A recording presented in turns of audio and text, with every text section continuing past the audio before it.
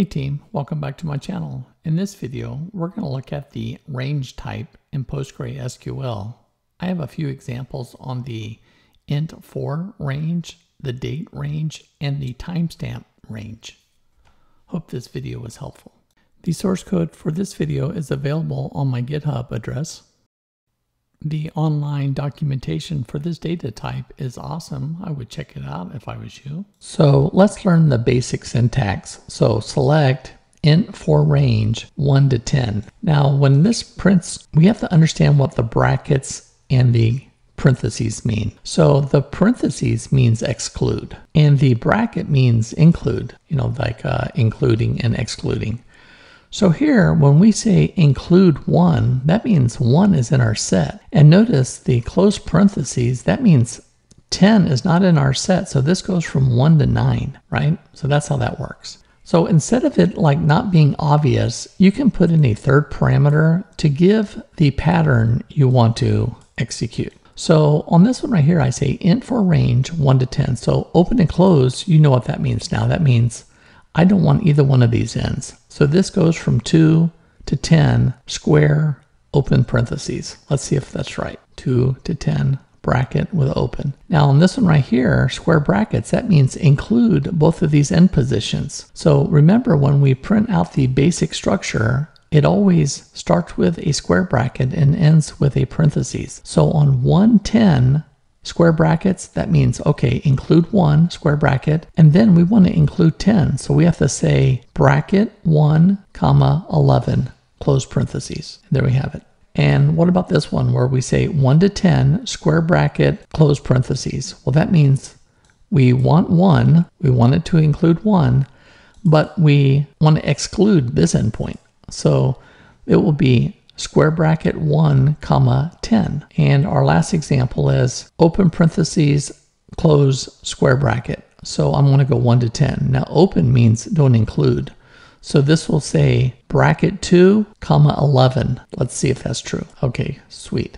So we understand what the exclude and include means, and we understand the basic syntax of what these look like. It'll always say bracket and then a close.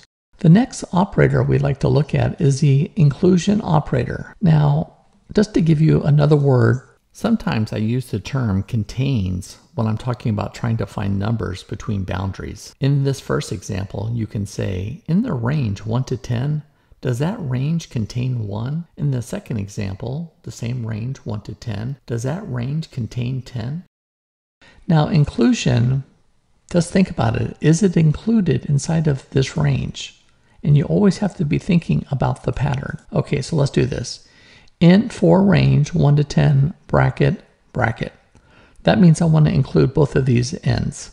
Now, is 1 inside of that range? And that answer is yes. Okay, so true. Then we have 1 to 10 open close bracket. That means I want both endpoints. Does 10 exist in there? And that is also true. Then the next one, 1 to 10, I want both ends. Is 11 in there? Negative. That is false. And 1 to 10, open, close, that means exclude endpoints. Is 9 in there?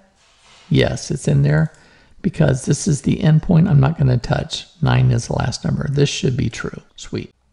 Let's look at date range. Select date range 20, 21, January. So when we have this right here, it rolls back to this signature, include, exclude. So the date range on this would be January 2020 to 1231 2020. But we know it looks like this.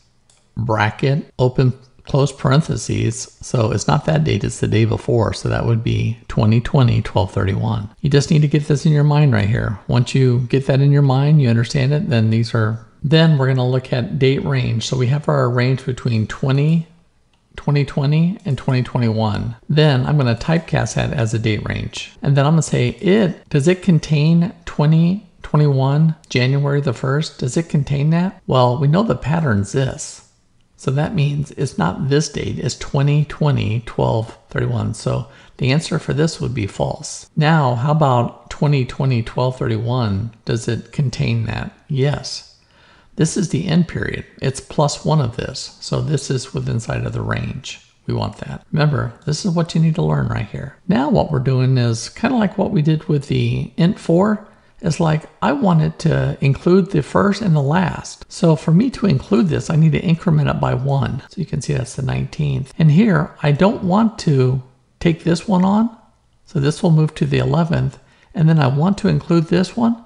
So we're going to get 1119, 1119. Okay, so now notice that we're putting quotation marks outside of the brackets. Now the brackets now are significant. Notice here, these first two have brackets. And then I have open, close.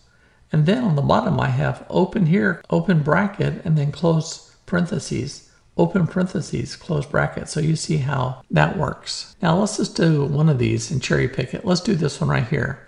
So I'm going to do a date range between January and February. And I'm going to say, does the date 2023, January the 2nd, is that inside of here, inside of this pattern? And what does that answer? That answer would be true. So if I was you, take a look at each one of these, highlight the statement, tell me what the answer is, and then, you know, you know the inclusion. Let us create a table, employee test one, insert seven rows, and then let's do our SQL statements. So select star from employee test one, and notice we're using brackets. What does that mean to us? We want to include this one if it's there, and we want to include this at the end. So if we come up here and just look at the data, what is between 2000 and 2002? So this one, so we got, we have two of them that will do it. And notice this is right on the boundary, so we should get Jason Truck. Let's take a look at that. And you see that we get both Jane and Jason. Jane and Jason solve that problem. Now the next one, notice we're going between January of 2000 and December the 31st of 2002 but we don't want to include this date. So it'll be up to 30. So that means we're going to lose Jason on this one. Okay. And now we're going to go between 1950 and 1980 inclusive. So and you can see that we're not going to include 1961 0506 this guy, Chuck Wagon, and we're going to include up to 1980 01. Excellent, Frank River. In our next example, we're going to say create table, perform task 2. So it has a ID, it's a data type serial, not null, and that's our primary key. And then we have employee ID is an integer, not null. And then a temp is actually a timestamp range. This is the first time we've used this it just has the date and time on a date. So let's go ahead and create this table. And then we're going to do some inserts. Notice I'm going to, because serial is a auto generating value, I'm going to just start with the employee ID and attempt. Now notice my attempt begins on the 2nd of January at 11.15 and they finish at 11:45. Then the next task by employee 2 begins at 11:30 and they end by 2:45. And then number employee 4 begins at 12:30 and then ends at 5:45. So you see the range. And notice that we're using brackets. Now you know bracket means include here, include there. You know that. And then we have the third and notice it has the brackets as well. Okay, so let's go ahead and insert that data as well. And then let me show that data to you. And then we just have one test question. Now notice here, I'm saying select star from perform task two, where, now this is my range. And I want to say, if you go look at all the data in a temp, you know, that's the name of the column. Does, is that whatever I said start and end, does that contain inside of this range? So this is our query range. And we said, hey, it has to be on January the 2nd. Now look at that bracket, bracket. That means can start on this and can end on this. So it has to start, you know, at 11 and end by 3. So any time, including this, 11 to 3 is good. So let's come up here. So uh, what day was that? On 2. So 1, 2. Is this before 11 and before 3? So, well, it it started at 11, so this is good. And this one ends at 11:45, and I said to three, so this is a good record. Now let's look at the second record. 11 to 3, can that fit inside of there? Yes, that can fit in there. Now 11 to 3, nope, This is a 545, no good. And how about 2 to 9? Uh, that's no good either. So it looks like just lines 1 and 2 will solve this request. Let's see if that's true. And there you have it, guys. So 11:15 to 11:45 and 11:30 to 11:45. And there you have it, team, an introduction to the range data type. In this video, it was very basic. I used simple int4 range, date range, and timestamp range. In the next video, I will cover and what I believe is the strength of this data type is overlapping. Although this video has given you the skills to tackle overlapping, master this first. If you have any questions about this video, please leave them below. Until next time, take care.